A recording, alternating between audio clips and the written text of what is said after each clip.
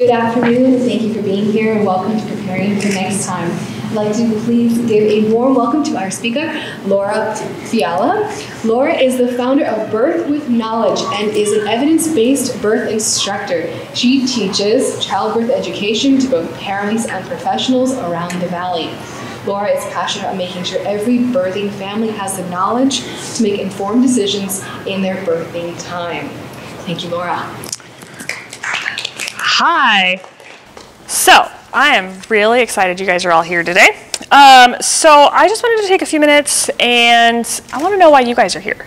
So, I have my super awesome friend. This is my plush placenta. So, birth sometimes gets a little little heavy, so we're going to try to lighten them up and we're going to throw them around the room. And if you guys want to share just a little bit while you're here, we're just going to take a couple minutes to kind of kind of see where everyone's coming from. Anyone want to start?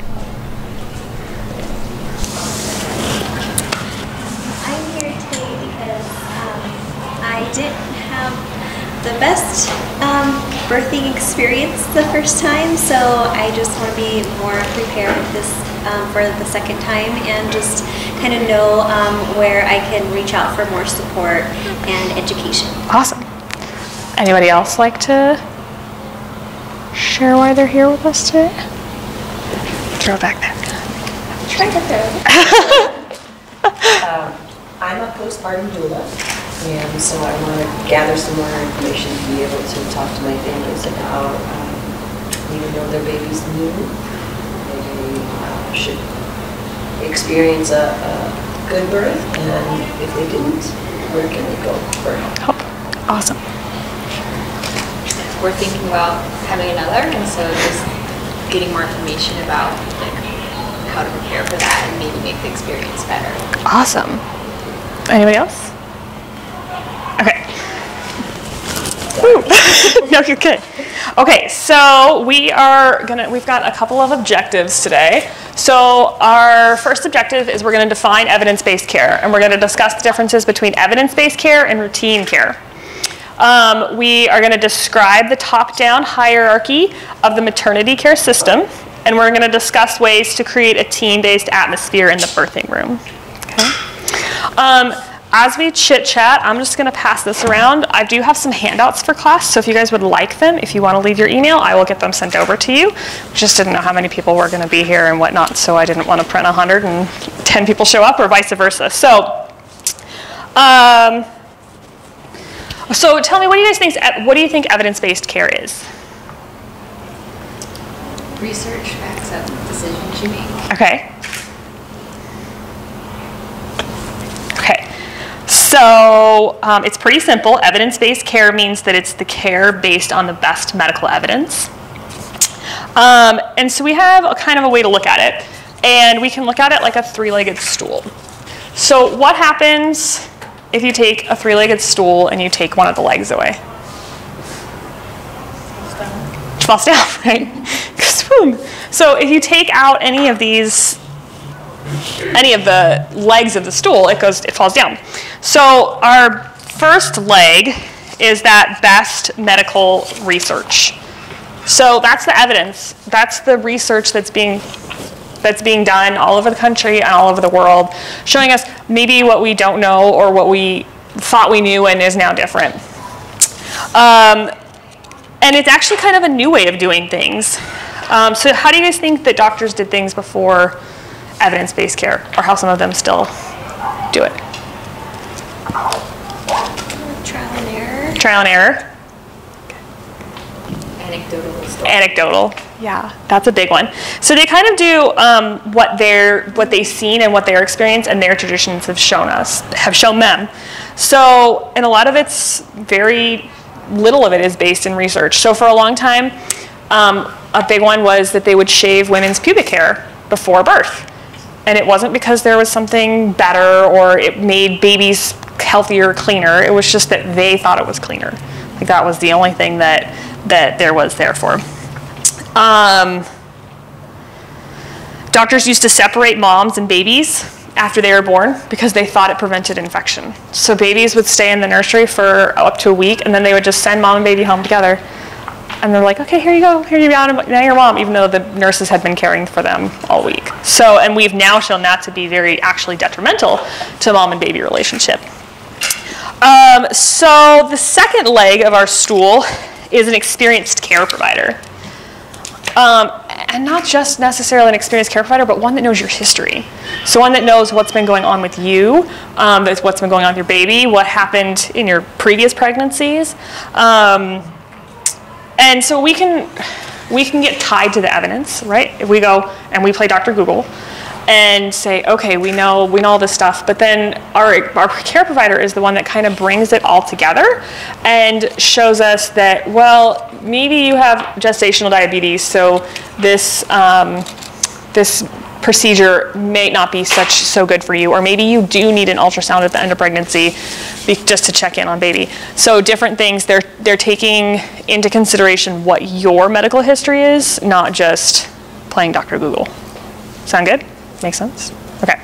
So, and then our third um, leg of our stool is individual gal- excuse me, individual goals, values, and preferences. So that means that what you think matters, right? If you guys don't want something to happen in birth, that matters. It does. If you don't want an IV because you're afraid of needles or you drink enough water, then that matters what you think, not just the hospital policy. Okay. Um, so having all three of these is important. So can you guys see that if we have 10 different people, different families in one room, that all of their births could be totally different because all of your values, your goals, and your preferences are what is a huge determining factor in um, in your birth, right? So, you guys have questions on anything that we've about the evidence-based, about the stool? Kind of makes sense. Okay. All right. So, discussion question here. So, why do you guys think it's important for families to have evidence based care?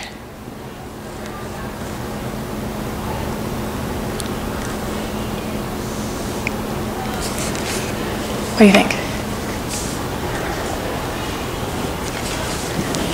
I've got prizes for talkers. I mean, it's like, show, like, I don't know, it's like a proven method, Okay. right? Take a pick. Okay. huh? You know it works. You know it works, right? Yeah. Okay. So, um, okay, so evidence-based care is considered the gold standard in medicine, um, and in fact is across the world. But research shows that many families um, receive aspects of care that is not evidence-based. The big reason for this is called the evidence practice gap. So has anybody heard of the evidence practice gap? Okay, so this is talking about how long it takes evidence and research to make it into the hospital. Does anybody have an idea of how long it takes that to happen? Five years. Five years? I feel longer I think 10 years. 10 years? Okay, so what if I told you it was 15 to 20 years? It's crazy, right? So that means stuff that was done in like the 90s is now finally getting into the hospital system. Stuff that's happening today is going to take another 15 years to make it into our mainstream um, care system. Um, so, what are some reasons that, what, why are some reasons that it's hard to make change in the hospital? I think it's hard for certain professionals to admit that they still have room to learn. Okay. Things are going to be different than what they were taught. Mm-hmm. Money. Money. Money's big. Insurance companies. Oh man, insurance companies. They're hard. Um, yeah, so there's liability. There's there's people in charge. They don't want to change. Change is hard, right? Doesn't matter what you're doing. Change is hard. And so now we're telling these people that we know better than they do, and even though they went to medical school, and but if you think about it, doctors and OBs have a hard time keeping up with all the research. Can anyone think why? So they are, um, they see a full caseload of patients, right? Then they have to take call. Then they want to have a family life. You know, shocker, they actually want to see their kids too, right? So when do they have time to read all this research? Okay. So, um, that's a big so one of the major reasons why it's hard for families to get evidence-based care is because of the power structure that's set up in our hospitals and in our healthcare system. Um, it makes it difficult to create change and to update the practices to stay in line with evidence. So i've got a little activity for us to do. So if you all stand up.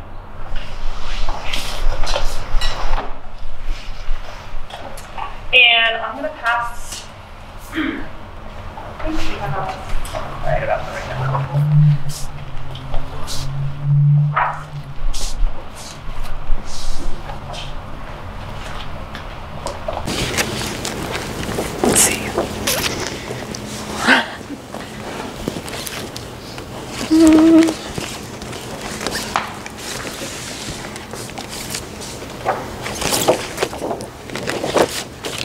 You get to be two.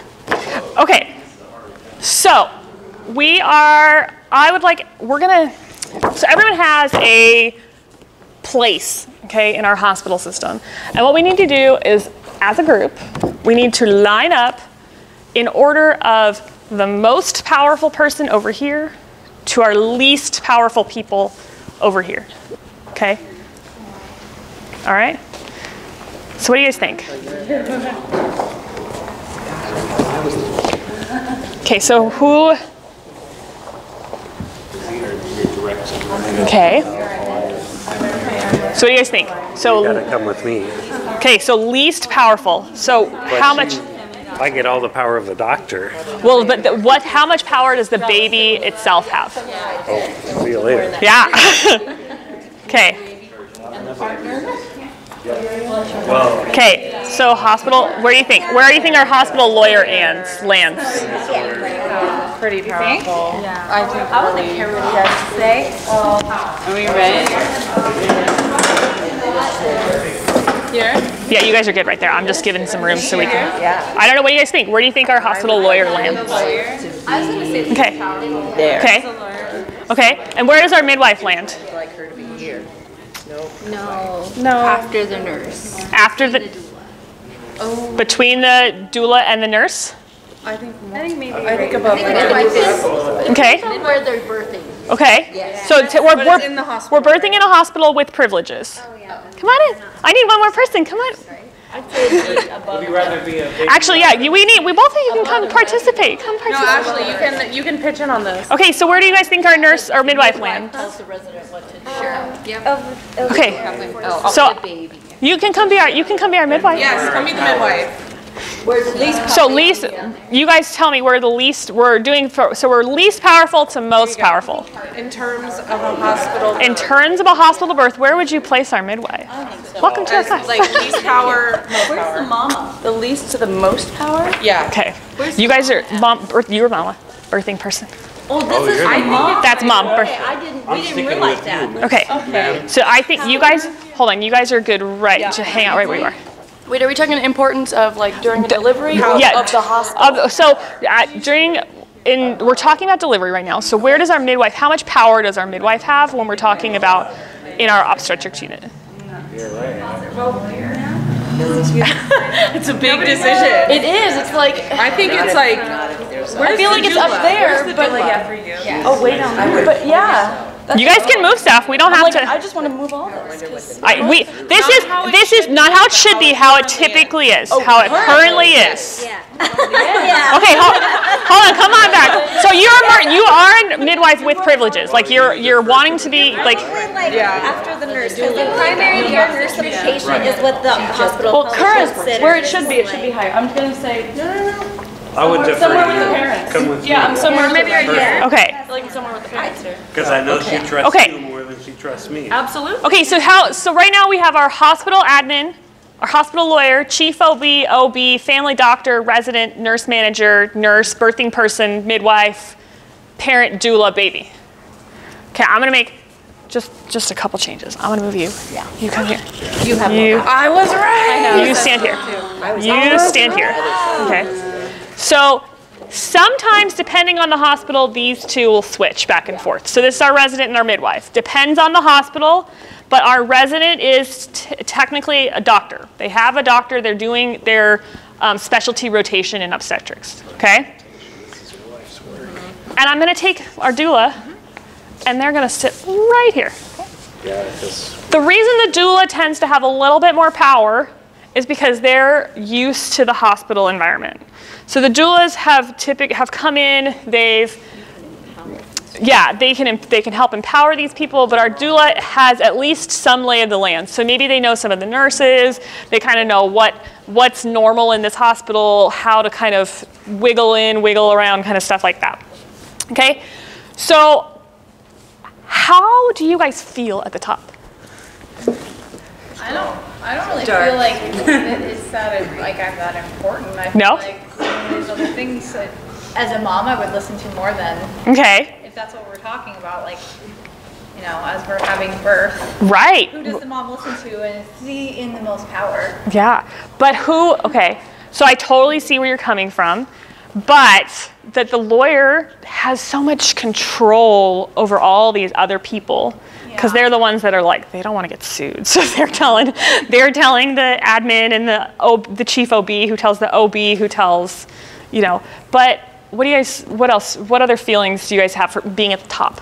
So not connected to Yeah. those. yeah just being yeah you're not so you're not connected to them at all can you We even wouldn't can you see barely even them. see them No. No. okay Never talk to them, deal with them. right Yeah, kind of dictate policy and procedure without Yeah. hands-on. And I feel like they probably wouldn't see the reality of like the day to day in and out of like, I'm a baby, I need help. Mm-hmm. You know, and like So they get really, they get really rem- the removed, right? Unless there was a problem and they had to deal with it.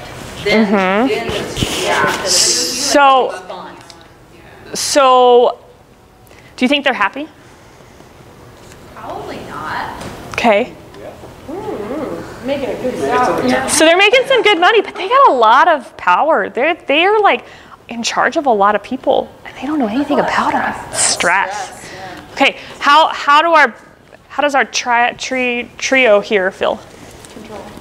Great, I just had a baby. But how do you feel being all the way at the bottom? I think it's scary. Scary. Yeah. But I feel like, especially if you're a new, well, I can't talk as a baby, but um, as like a new parent, especially, I think it's really scary because you don't know even who sometimes your people are, you know, who can help Help you? or support Right. you, and especially obviously as a baby. Baby, baby's got you. They have no control. Yeah. Okay. Yeah. So, sorry, I'm gonna sneak between you real super fast. Okay. So, you get pen. Don't don't stab yourself with the pen. And you guys get a pen. You get a pen. Okay. So now you get to sword fight with each other. Okay. So, what do you guys think about our people in the middle? Are they happy? Probably the least happy. They're- They're least happy. They're busy. Okay. So seriously, you can sword fight with each other. They can also be in conflict with each other. power, right? They're in con- so this right here is there's this thing called horizontal violence that happens when there's these people in the middle that they have so much power on their shoulder and they have so much responsibility but they can't do anything about it. And so they fight with each other and they get this have you guys ever heard of the the nurses eat their young kind of thing. So the nurses, like when new nurses come in, the, the experienced nurses want them to do things their way. They don't want stuff to change. So they are not very nice to our new nurses. Okay, so I want what, you three come this way and stand right here. And then will you guys circle this way? And we're gonna make we're gonna make a circle. You guys just come this way and like we're gonna make a circle around our baby and our mama and our and our partner. Okay, so how does this feel? Much better. Whoa. Like we're protected. little overwhelming, but yeah, protected. Okay. What And about you guys? access. They Yeah. have to have access to everyone here. And- It's not, down there and I'm down here. Okay, and what about what about our top people? What do you guys think? Probably better because we can make a difference or at least connect you can- people to know See how them, we're right? influencing. Like you at least see who you're making policy for. They're like right in front of you. So do you have a hospital that's like this? Right? Anything you recommend? Woo! If we did, then I probably wouldn't be teaching this class. okay, so this is what we call family-centered care. So this is what you guys are like, what we would hope for. And unfortunately, right now, you're probably looking at an out-of-hospital birth to get this care.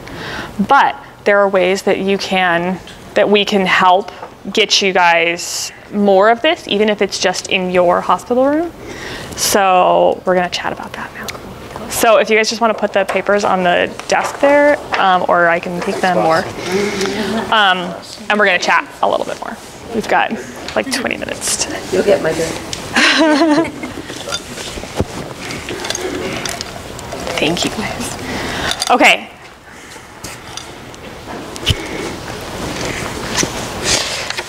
So we have a couple tickets. Just gonna randomly pass these out.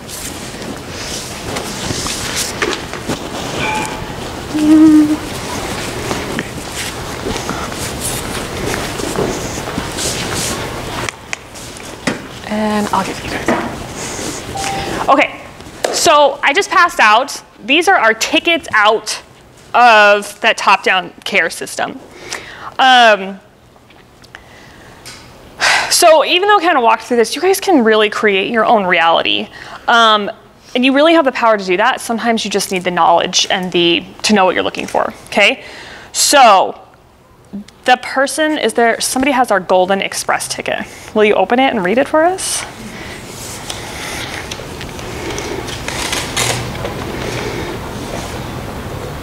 A truly supportive provider and birth setting.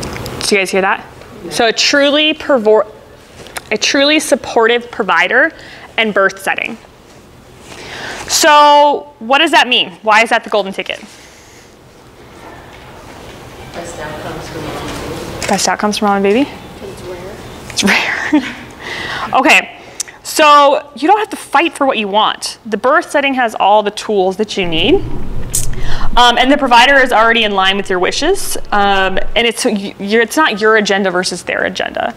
The problem with some of that is even if you get a good provider, if you're not in a supportive setting, they still have all those people that were on top coming down on them on what they're doing. So you've got to kind of get both in there to get what you're what you're really after. So what if you don't have that? Does someone have our ticket one?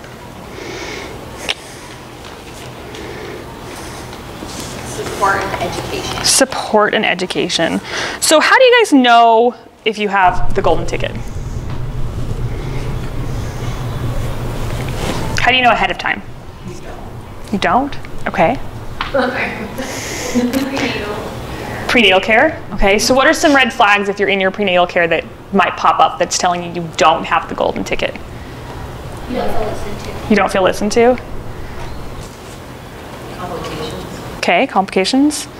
What about the body language of your provider? They rush you through it. Rush you through it?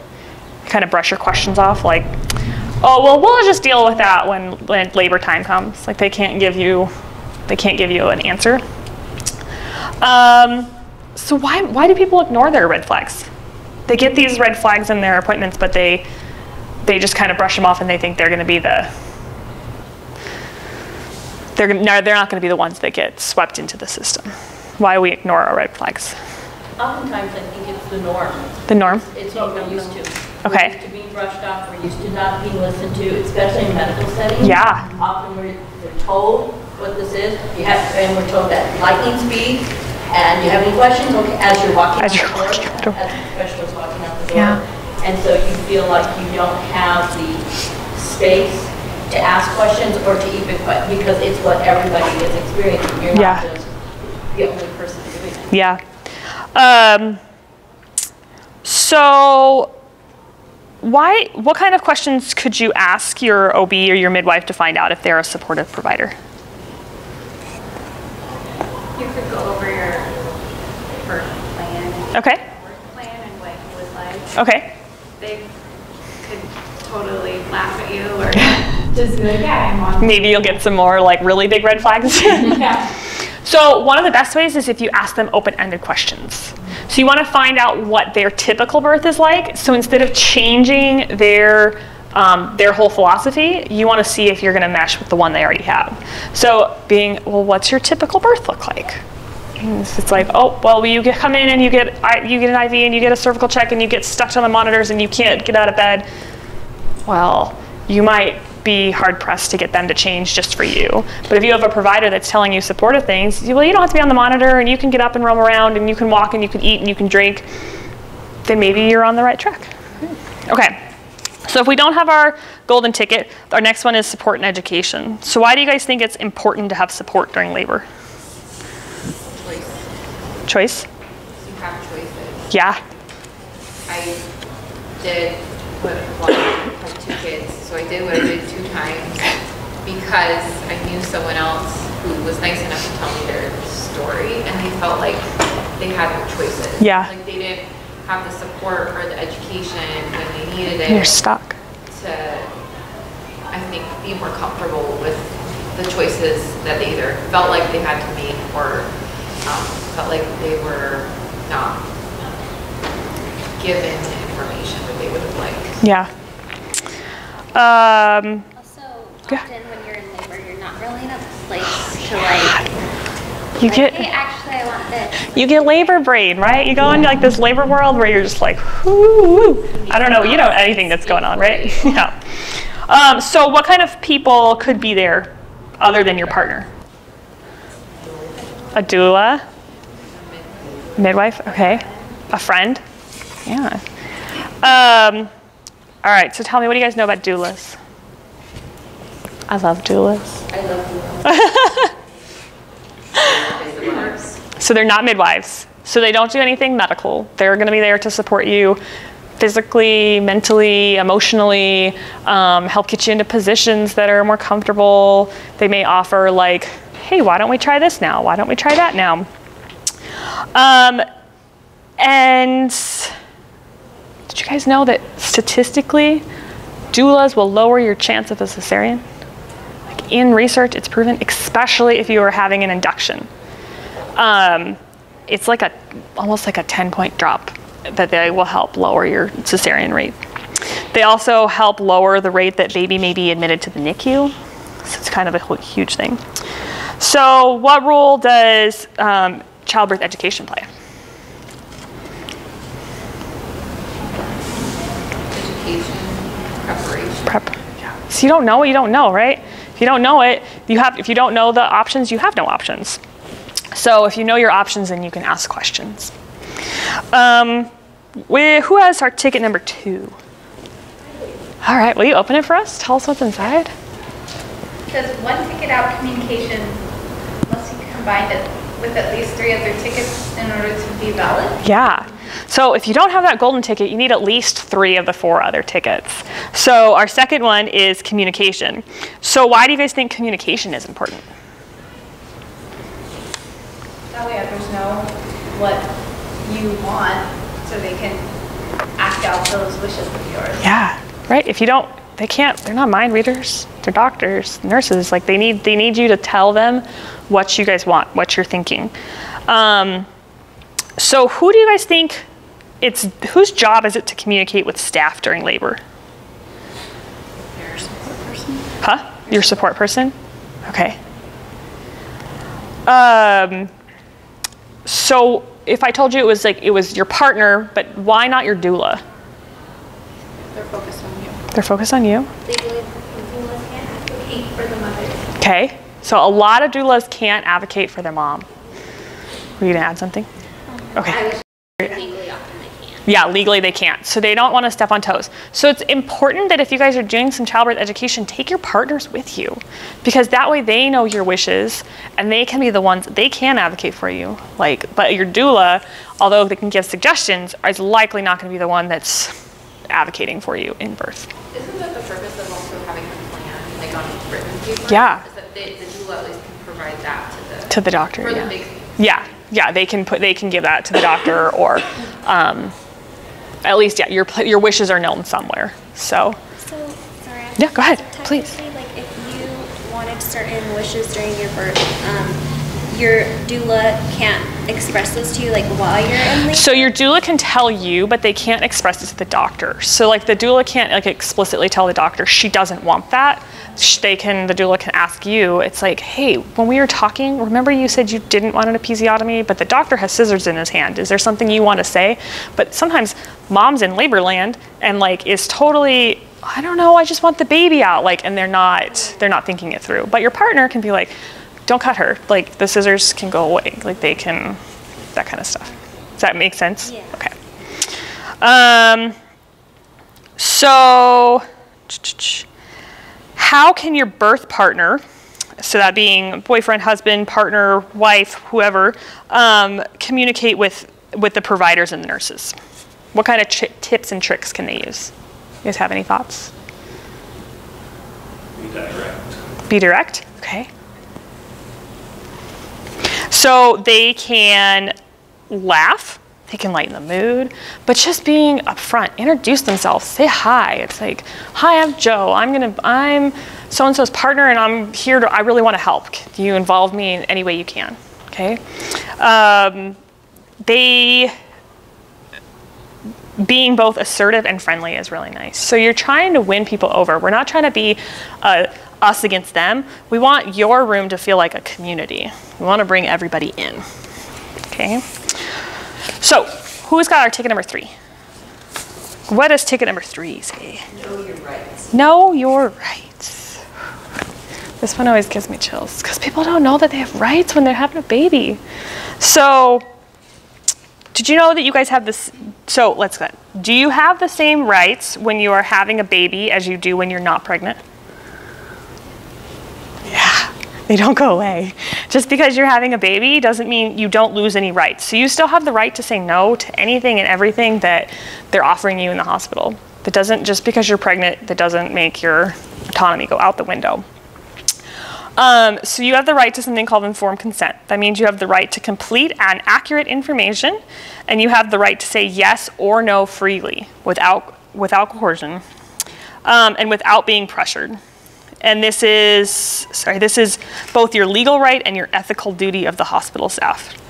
Also, big one: the informed your consent form does not mean informed consent. Just because you guys sign the consent form, that still means the doctors and nurses should be giving, should be asking permission for everything that's going on in the hospital.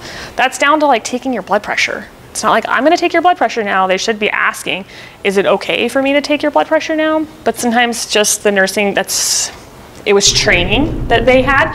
So you just have to, you know, be gentle and be like, could you please ask? Yes, you're welcome to, but um, stuff along those lines. Um, so who is the legal authority in the labor and delivery room? Say it again. Presiding doctor. Okay. Any other thoughts? You. Yeah, mom is the legal authority of her own body. Um, it doesn't change. Um, eh, but a lot of people say that. A lot of people think that the doctor is the legal authority. They can do whatever they want.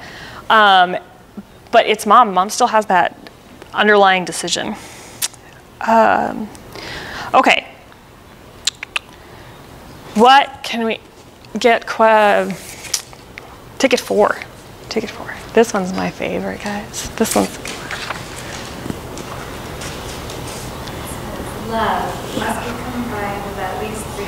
Um, so why is love one of the tickets out of the system?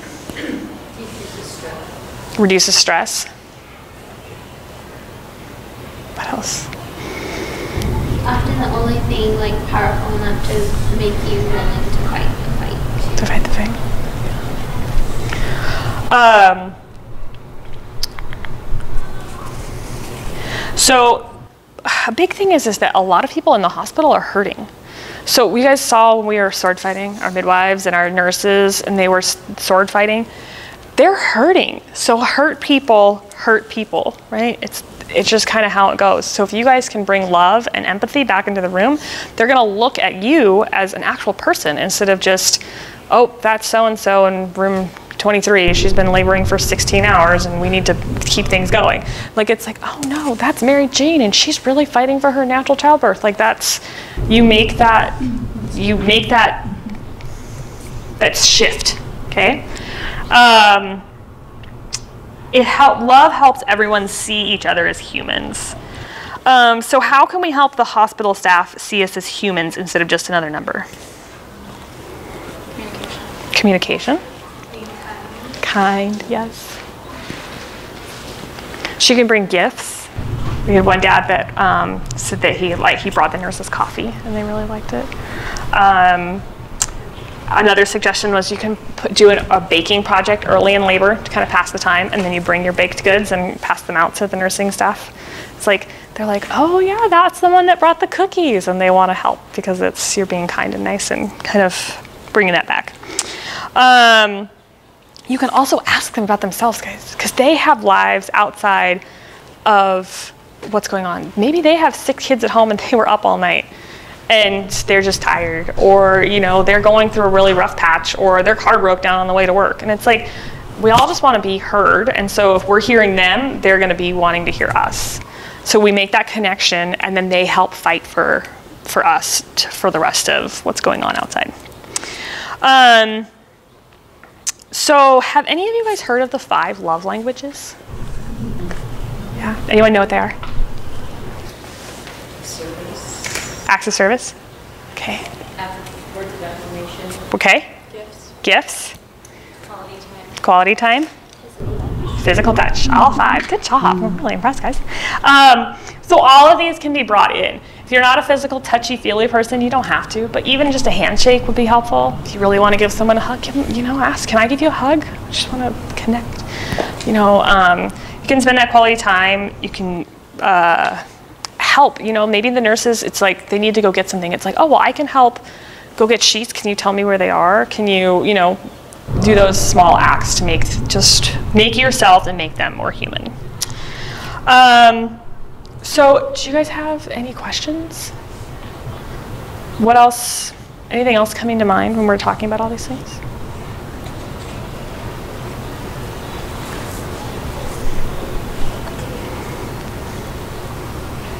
Okay. So um, I do have a handout for you guys. I'll send it. It has all the tickets. Um, it talks about the power hierarchy, um, and just kind of takes some time to think that you guys have the power to change and to make the birth you want happen. You just need to take the time beforehand to to do the research, find the put your support staff together.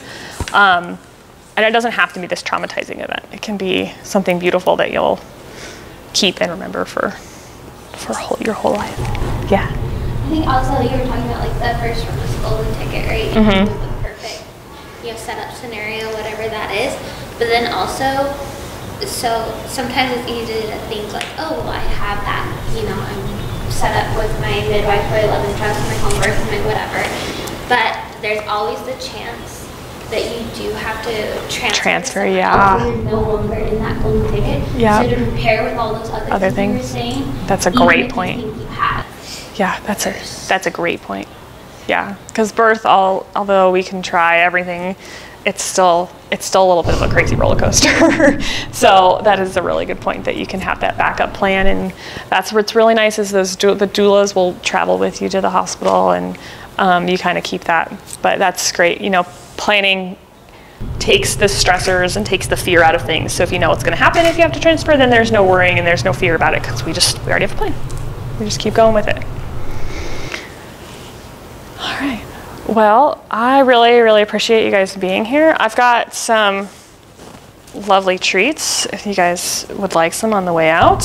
Um, and that's what I've got for you today. I think we've got just a couple minutes left. So if anyone's got questions, I'll hang out and stick around. It.